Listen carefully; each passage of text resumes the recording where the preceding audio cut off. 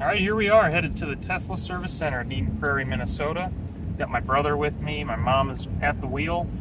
Going to take delivery of this Model Y uh, before the snowstorm comes, hopefully. First test in the all-wheel drive function. No uh, text saying uh, it's been delayed or anything like that, so I'm excited to roll up to the service center. Never been there before. Like this craziness. Yep.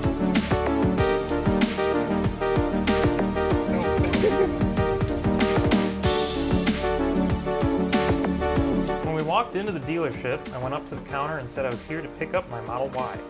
They then sent me into the waiting room, and less than two minutes later, Caitlin called me back into the lobby.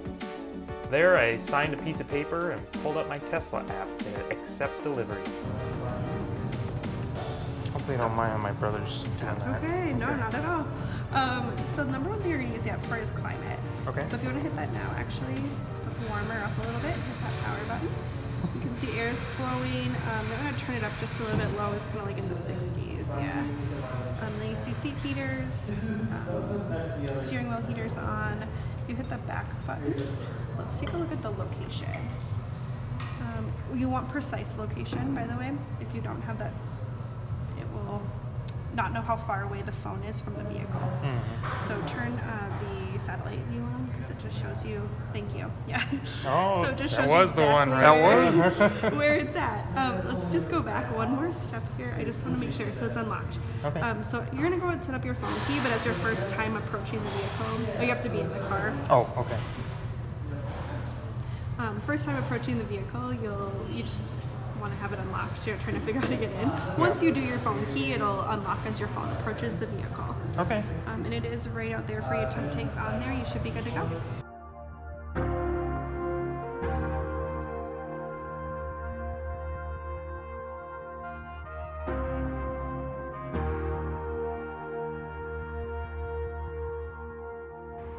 There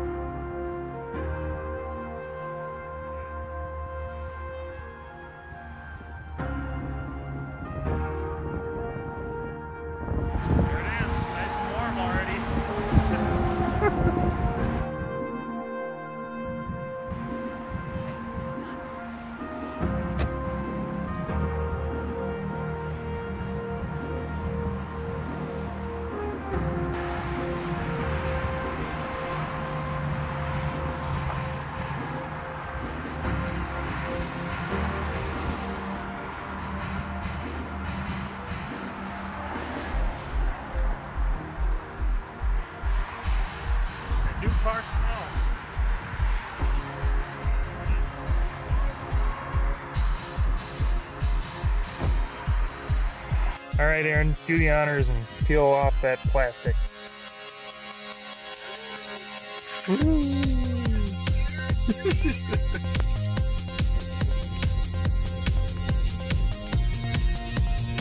In 500 feet, turn right to stay on Valley View Road.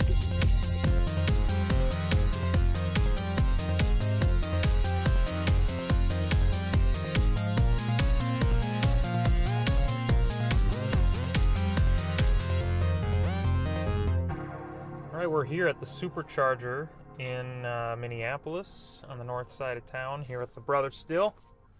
I just rolled up to the Supercharger and plugged in. I don't know if at one point I gave Tesla my credit card information or how it's charging me right now, but wanted to top off. Right now the range says 170 miles, but man, is that changing fast. We're charging at 48 kilowatts, which is just about as fast as my Bolt was able to charge under ideal conditions. Uh, and this is with uh, a battery percentage of 52 right now. Just topping off. I wanted to see if this worked. Making sure that I'll have enough to get the 70 miles back to Rochester. Also wanted to give the car a bit of a drink since I know it had a long ride to get here. But uh, yeah, so far I absolutely love this car. It's just rides very smooth. Everything is very tight, um, comfortable, quiet. It's- yeah, it's pretty pretty incredible vehicle. What do you think, Aaron? I think it's really nice. I think the amount that you get for the prices, it's pretty impressive. It's pretty impressive. Quality is very good. Um, at least at this point, you know, I know people have said at least people with experience with Teslas have said they oh they come apart after certain X amount of miles, but I I just don't see how that is the case. Uh, other than you know your occasional lemon, I just Yeah, the Really build nice. quality's really impressed me so far. I mean, the only thing I've been able to see is there's a tiny little nick. I'll show a picture on the front overhead um, material. I don't know what you'd call it, cloth. But uh, other than that, flawless. Everything else, just wonderful condition.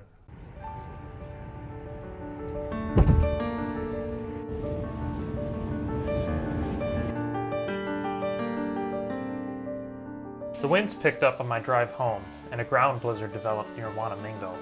It was quite scary at one point when a truck and I hit an ice patch and started fishtailing. Luckily, the car corrected itself quickly, and I had the dash cam on to capture the incident.